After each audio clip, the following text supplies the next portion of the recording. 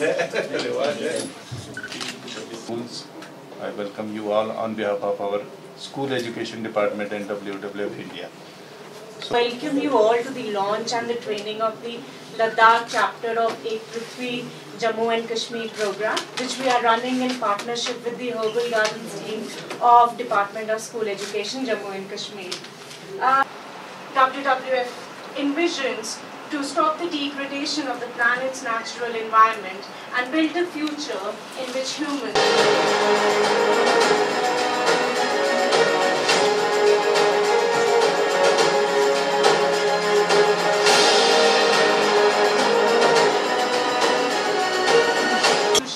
across different sections of the society. it's, it's a wonderful day uh, being here in, in Kargil today. And uh, today's chief guest, sir, thank you very much, sir, for, for joining us. And as sir, you see up, up there, this program is called Ek Prithvi, Conservation Leadership Through Education. So the main focus of, of this very program is, is leadership. It will percolate to hundreds and thousands of people. और वो काम जो है हम अकेले नहीं कर सकते and idea is also that to develop the leadership skills of our students in the educational institutions so that because it's a massive task environment conservation nature conservation और आज अ, सर जब मैं मैं सुबह हम कल शाम को कारगिल पहुँचे these days you Google Kargil या हम अपने दिमाग में भी जहन में भी जब जब कारगिल आता है तो इमीडिएटली आपको टाइमन वर्ड्स है और सर मैं बताना चाहूँगा कोई 10-15 दिन पहले आर्मी की हेल्प से हम यहाँ टाइगर हिल पे ही वाइल्ड लाइफ का सर्वे कर रहे थे तो, तो जब मैं अपना लेंस लेके वो जूम इन किया टाइगर हिल के नीचे मुझे एक खूबसूरत सा ब्राउन बियर दिखा wildlife this this this this area has and then we have snow leopards uh, Zanskar area uh, in in up valley in, in Dras valley also WWF India, Ms. Radhika Suri, to please tell us about the work of WWF India's education division. That's a very uh, core part of who I am and uh, and my division too. And the other thing is about uh, हम हमारी मतलब in our lives we have lot of experiences, lots of people who influence us. And I had a father um, who was quite troublesome. Uh, मुझे रोज सुबह चार बजे उठाते थे and he used to take me for a morning walk. And I never understood um, why he would take me for this walk. And during these walks, he used to make us watch ants. He used to make me watch ants. And that was the most fascinating thing. And I used to live in a place called Goa. वहाँ बहुत बारिश होती थी चार महीने and I was very happy ऐसे चलो चार महीने तो सोने को मिलेगा but no he brought these two huge umbrellas and he said let's go for a walk straight I went for a nature camp so we definitely realized that our work has had a very strong impact in these 50 years should have if all of us have studied EBS if all of us have done this then why are we not caring for the environment and that was something uh, we really wanted to analyze and wanted to understand. Action. Taking action is a very very important. Office late पहुंचते हैं या एक बच्चा school late सो एक one planet academy is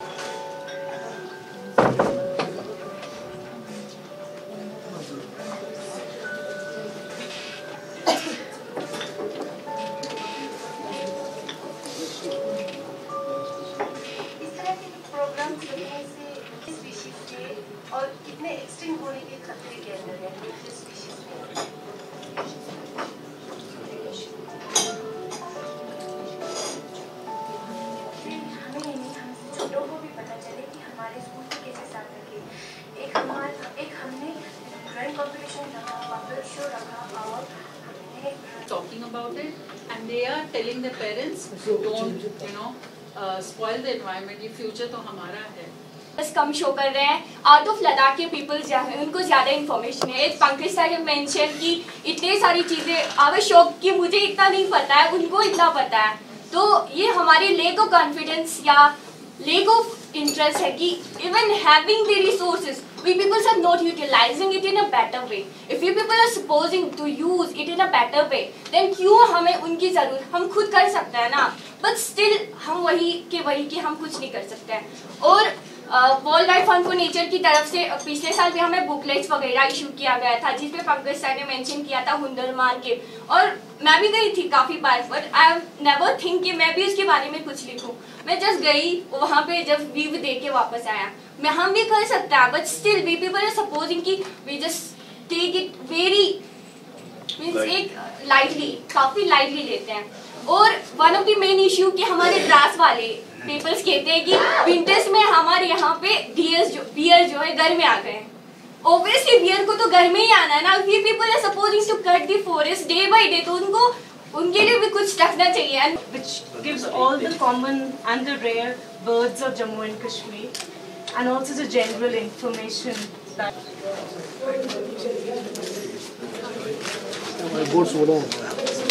ये जो herbal tea है वो थोड़ी सी बिटर होती है ठीक है नेक्स्ट नेक्स्ट तो ये करना नेक्स्ट और प्रोफेसर नमयाल साहब, शायद अगर मैं गलत नहीं हूँ तो शायद ये कंट्रोलर लद्दाख यूनिवर्सिटी जो अभी क्लस्टर यूनिवर्सिटी जो हाल ही में इस्टेब्लिश हुआ, उनके कंट्रोलर ये नामजद हैं तो हम उनको वेलकम करते हैं। उसके अपनी जो टीम जो डायरेक्टर स्कूल एजुकेशन से जो टीम यहाँ पे आए हैं प्रिंसिपल्स आपके टीचर्स स्टूडेंट्स सबको गुड आफ्टरनून एक्चुअली मेरे सही मालूम है, मैं कहूँ तो मेरे जहन में ये नहीं था कि इतना इफ़ेक्टिव और इतना नॉलेजेबल ये एक यहाँ पे वर्कशॉप कहें या एक सेमिनार होने जा रहा है।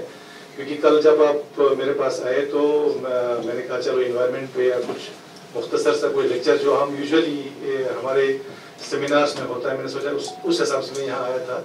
लेकिन जब मैंने वाकई जब ये देखा तो मैं समझता हूँ कि आज को अगर लद्दाख को किसी चीज़ की ज़रूरत है तो मैं समझता हूँ ये जो अभी जो वर्कशॉप है, इस चीज़ की बहुत ही ज़रूरत है। क्योंकि लद्दाख में अगर हम आज के ही मौसम के हालात को देखते हैं, कल और आज का जो मौसमी हालात देखते हैं, उसी से हमें पता चलता है कि हम लोगों ने नेचर के साथ खेलना शुरू किया है। Otherwise in the month of June you will never expect snowfall आपका गर्मियों में आप देखिए कितना गर्म था हमारा लद्दाख। और आज आज जून के महीने में भी हम लोग हीटर इस्तेमाल कर रहे हैं। तो इसी से साफ़ ज़ाहिर होता है कि हमने भी नेचर के साथ खेलना शुरू किया है। मैंने यहाँ पे कहा कि आपका ये जो मेडिसिनल प्लांट्स के बारे में यहाँ पे जो आप हर्बल मेडिसिन स्कूलों में आप इंट्रोड्यूस करना चाह रहे हैं बहुत अच्छी बात है कि मैंने तो अभी तक किसी स्कूल में शायद मैंने नहीं देखा। होगा बेशक नहीं कहता नहीं होगा।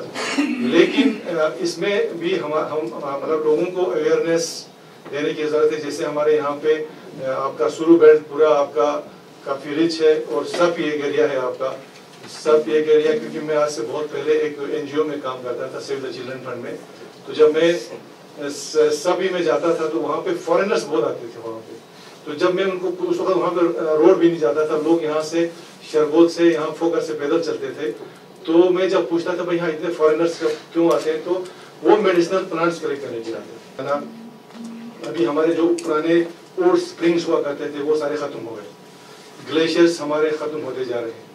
बर्फ़ बहुत कम पड़ रहा है। और लोग लोग जो है पानी उसी तरह से इस्तेमाल कर रहे हैं, आज जिस तरह से हम आज से 20 साल 30 साल पहले करते थे। अभी तो आज के डेट में हम लोग ग्राउंड वाटर का इस्तेमाल कर रहे हैं। हर दो कदम पे आप हैंड पंप लगा रहे हैं। लेकिन उसका, उसको भी कैसे बचाने लोगों को पता नहीं। हर हर दिन हमको कौंसल में एप्लीकेशन आता है कि हमको जी हैंड पंप चाहिए। हम अपने ग्राउंड वाटर को भी आप खत्म कर। इन चीज़ों को और दूसरा आप देखिए, हर नाले में, दरिया पे हम किस तरह से इंकरेज कर रहे हैं? इंकरेजमेंट कर रहे हैं। नालों को हम बंद कर रहे हैं। खुदा न खास्ता, क्योंकि कहते हैं कि फ्लड तो सत्तर साल के बाद भी अपना रास्ता नहीं छोड़ता। क्योंकि फ्लड एक दिन आना ही आना है। तो इसलिए हम समझते हैं कि ये जो कंपोनेंट आप लोगों ने यहाँ लिया है, और खासकर स्कूल एजुकेशन के साथ आप कर रहे हैं तो हमारे हमारे लिए बहुत फ़ायदेमंद होगा, बहुत मुफीद है। तो मैं आपका काउंसिल की तरफ़ से पूरा अश्योरेंस देता हूँ आपका डब्ल्यू डब्ल्यू एफ़ को और डायरेक्टर स्कूल एजुकेशन से जो टीम आए हैं, जो भी करना चाहते हैं हम आपके साथ मिल के आप एक जब भी आप, आपके पास टाइम होगा काउंसिल लेवल पे हम आपके साथ बात करेंगे, हम अपने डीसी साहब को भी इसमें इन्वॉल्व करेंगे फॉरेस्ट वालों को इन्वॉल्व करेंगे वाइल्ड लाइफ वालों को इन्वॉल्व करके हम एक कम्प्रहेंसिव एक प्लान बनाना चाहते हैं आने वाले पाँच दस साल के लिए। उसी हिसाब से हम उस डिपार्टमेंट पे फंडिंग भी करना चाहते हैं। तो मैं समझता हूँ ये बहुत राइट टाइम है, सही टाइम पे आप लोग आए हैं। तो आप लोगों का बहुत ही हम थैंकफुल करते हैं कि आप लोग यहाँ पे स्कूल प्रिंसिपल्स और हमारे जो हेड मास्टर्स हैं या टीचर्स हैं, उनके लिए वर्कशॉप रखा। तो हम एक्सपेक्ट करते हैं कि वर्कशॉप एक कंटिन्यूस प्रोसेस रहे, ताकि ये आज के बाद ख़त्म ना हो। तो मैं एक बार फिर आपका बहुत ही वेलकम भी करता हूँ और शुक्रिया भी करता हूँ। Thank you very much I was at uh, Government Gul Higher Secondary School, Kargil, and from there I will connect it to Worldwide Fund for Nature. And uh, just because of Worldwide Fund for Nature, I have also a trip to Leh where I come to know about nature so keenly, about the species which I have never heard about and I've seen and I'm come to know ki which species are going to be extinct or which are at the stage of extinction. So I must say that uh, when I wake up in the morning, everyone was very fascinated about seeing the snowfall outside, and they were just thinking ki they were just enjoying. But actually, it is a sign of global warming, and instead of we making happy, being happy, we should have to take steps. What should uh, what steps we should have to take at grassroots level to compensate these global warming. That's why we are uh, having snowfall in June, which is very seems like a miracle. कि जून में तो कभी ऐसे नहीं होता था तो now we are come to see कि हाँ जून में भी स्नोफॉल हो रहा है Uh, 2015 और 16 से हमने एक स्कीम यहाँ पे लॉन्च की है जम्मू एंड कश्मीर स्टेट में हर स्कूल हर्बल गार्डन स्कीम के नाम से। तो इस स्कीम का मेन मकसद ये है कि हम स्कूलों में जो मेनली हायर सेकेंडरी स्कूल्स हैं और डाइट्स हैं, वहाँ पे हम हर्बल गार्डन्स बना रहे हैं, जिसमें हम minimum 20 to 30 species of medicinal plants grow करते हैं, ताकि हमारे जो बच्चे हैं उनको इन मेडिसिनल प्लांट्स के बारे में जानकारी मिले और जो इनकी कंजर्वेशन है, वो इसमें अपना योगदान करें। तो इसमें भरपूर हिस्सा लें और जो ट्रेडिशनल नॉलेज है वो उन तक पहुँचे, जो आहिस्ता आहिस्ता ख़त्म होती जा रही है तो उसको हम दोबारा से रिवाइव करने की कोशिश कर रहे हैं। और हमारी मैसेज लोगों के लिए यही है कि ये जो लद्दाख रीजन है, ये जो बायोडाइवर्सिटी के लिहाज से काफ़ी रिच है, इसको कंजर्व करने की ज़रूरत है और अवेयरनेस लोगों में बढ़ाने की ज़रूरत है। और हम अपने जो क्यूरेटर्स हैं अपने जो हमारे स्कूल में बच्चे पढ़ते हैं, उनको हम ये एडवाइज़ करना चाहते हैं कि वो कम्युनिटी के साथ लिंक हो जाए, ताकि जो ये हमारी हर्बल वेल्थ है या बायोडाइवर्सिटी है, इसको किसी हद तक बचाया जा सके। मैं ये यहाँ बताना चाहूँगा कि आज यहाँ कारगिल में डब्ल्यू डब्ल्यू एफ़ इंडिया और directorate of school education government of Jammu and Kashmir ने मिल के एक कंजर्वेशन लीडरशिप के लिए एक वर्कशॉप की है। इस प्रोग्राम का मेन मकसद है कि लीडरशिप स्किल्स बच्चों की कैसे डेवलप की जाएँ। और इस प्रोग्राम ये जो टारगेट करता है, ये लीडरशिप को टारगेट करता है। चाहे वो यहाँ की leadership in the form of Ladakh Autonomous Hill Development Council Kargil हो, चाहे वो leadership in the form of school के प्रिंसिपल्स हों लेक्चरर्स हों इन्वायरमेंटल साइंसेज के बॉटनी के जालोजी के आइडिया इस पूरे प्रोग्राम का ये है कि टीचर्स के साथ एक मॉड्यूल डिस्कस किया जाए और वो मॉड्यूल कल जाके वो अपने स्कूल्स में इम्प्लीमेंट करें और जिसके थ्रू बच्चों के स्किल्स हम इस तरह डेवलप करें कि वो फ्यूचर कंजर्वेशन लीडर बने। क्योंकि मैं बताना चाहूँगा कि जहाँ तक माहौल को बचाने की बात आती है नेचर कंजर्वेशन की बात आती है इन्वायरमेंट कंजर्वेशन की बात आती है ये एक आदमी अकेले नहीं कर सकता। इसमें हज़ारों, लाखों लोगों को एक साथ निकलना पड़ेगा, तब जाके हम माहौल का तहफ़ करेंगे। प्रोग्राम है ये लद्दाख के लिए, जो आज यहाँ लॉन्च किया गया है, खासकर कारगिल में, ये एक लॉन्ग टर्म प्रोग्राम है। ऐसा नहीं है कि वर्कशॉप करके इसको छोड़ दिया जाएगा।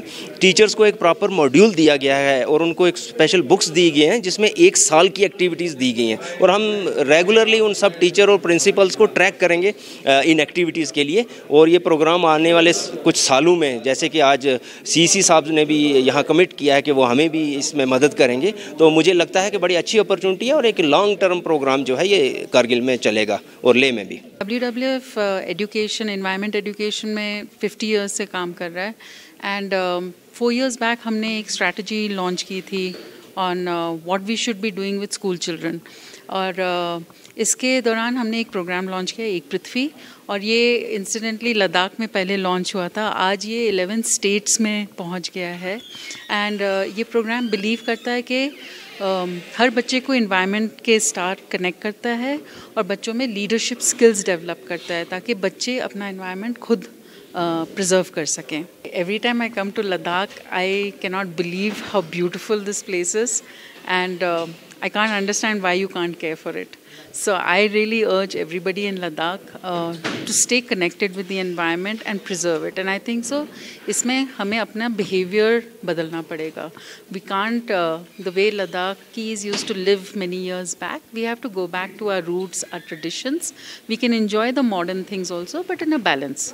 So I think so. That's my message to them. But you are actually living in heaven. So preserve it. It's beautiful.